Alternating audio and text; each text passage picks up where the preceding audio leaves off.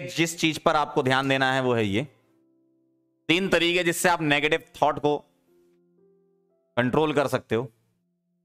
आपकी ज़िंदगी में कई बार ऐसा होता होगा, क्योंकि तैयारी के टाइम पे लगातार कंसिस्टेंसी को मेंटेन रखना बहुत ही इम्पॉसिबल सा टास्क है।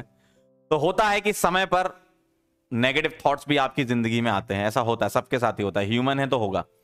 लेकिन उन नेगेटिव थॉट को आप सोचते ही रहेंगे तो वो चीज़ बढ़ती जाएगी। तो सबसे पहला काम है, आपको सोचना नहीं है, आपको अपनी स्ट्रेंथ पर फोकस करना है। देखो, सबको अपनी स्ट्रेंथ और अपनी वीकनेसेस पता होती हैं, लेकिन आपकी जो स्ट्रेंथ है उस पर फोकस करें आप। क्या स्ट्रेंथ है आपकी? पहचान आप। और उस चीज़ को पहले करें। बैठे मत। खाली बैठेंगे ना तो दिमाग बहुत हावी हो जाएगा आपके ऊपर। ये एकदम सत्य बात है।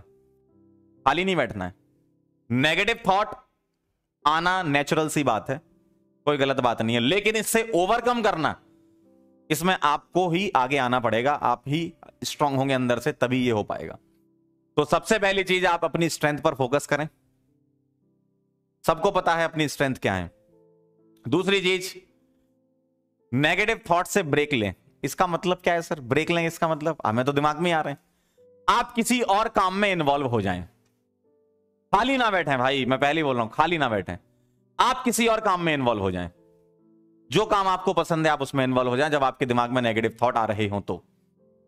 और थर्ड चीज़ है, सोचे मत, लिखें।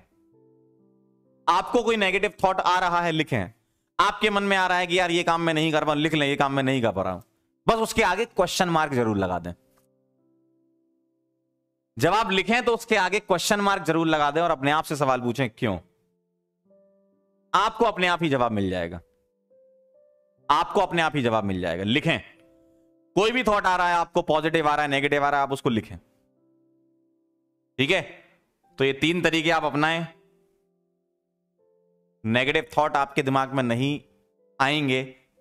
ऐसा नहीं हो सकता। सबके दिमाग में आते हैं, हमारे दिमाग में भी आते हैं। ऐसा कोई इंसान पैदा नहीं हुआ जिसके दिमाग में नेगेटिव थॉट नहीं आते। यार ये काम नहीं हो पाएगा। ऐसा आता ही है। फिर हमारी स्ट्रेंथ हमें बताती है कि अच्छा ऐसे कैसे नहीं हो पाएगा? होगा ये काम। हम करेंगे। और जिस समय आपने ऐसा बोला, उस समय आपके दिमाग को पता चल गया कि भाई, अब मुझे नेगेटिव थॉट को वापस भेजना है, जहाँ से वो आए थे। और ये चीज़ें कैसे सही होती हैं? आप अपनी स्ट्रेंथ पर फोकस करते हो। आप किसी काम में इन्वॉल्व हो जाते हो। आप लिखते हो सोचने के अलावा आप लिखते हो। लिख लो। आदि समस्या का समाधान वही है। ठीक है? क्लियर चलिए भाई। तो ये कुछ बातें थी जो कि आपकी तैयारी में बीच बीच में आती रहती तो हम भी बताते रहते हैं।